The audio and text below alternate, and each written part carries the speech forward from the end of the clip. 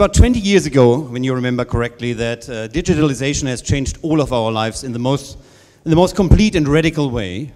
And in the upcoming 10 years, this trend seems to go even faster. So I think we have every good reason to be very optimistic and look with uh, lots of enthusiasm into the future, also into this digital environment, which we should drive.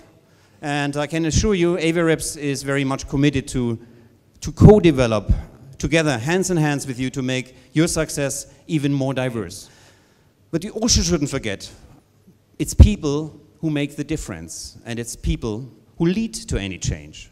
So again, our people at AVIAREPS are really passionate, really seriously passionate about moving together with you also into the new age, into the digitalization, combined with our strong lead to the travel trade which we had after years.